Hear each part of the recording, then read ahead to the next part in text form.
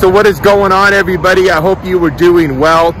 Today we're back at the F1 racetrack and we're gonna go take a look around. So they have a lot of building materials out here.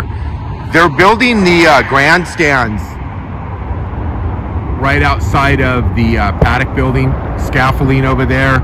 And then we'll come around over here and I'll show you where they have built um, new grandstands over here that I don't believe they had last year. Now, I don't know what that means, East Harmon Zone.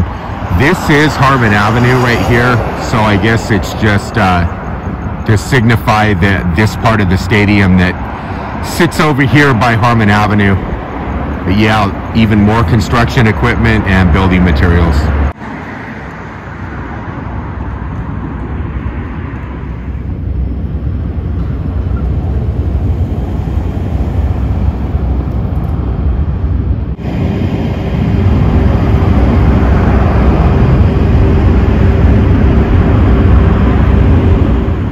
These bridges right here over Harmon Avenue, they only took a couple hours to put up, so a lot smoother this year.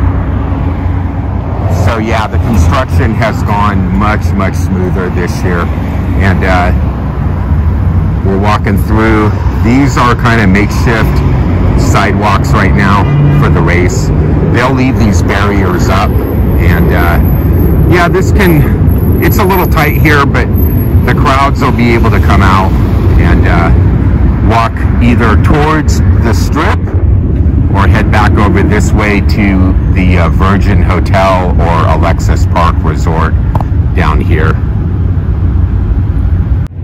So here is the part of the track right off of Harmon Avenue.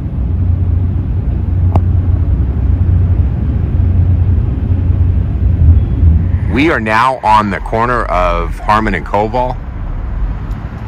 There's Koval, and here is Harmon.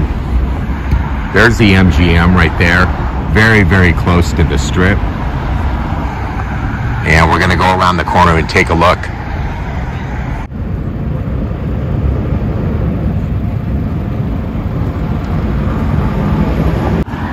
So a nice big section of grandstands right here if you want to watch the race and watch it go from Harmon.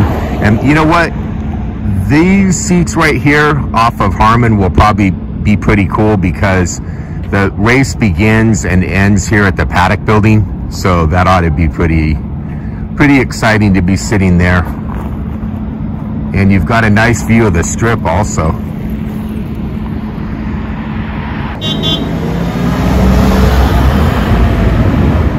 So guys and girls, I hope you enjoyed today's quick walk around the F1 racetrack. It is getting dark here, so we're gonna wrap up today's video.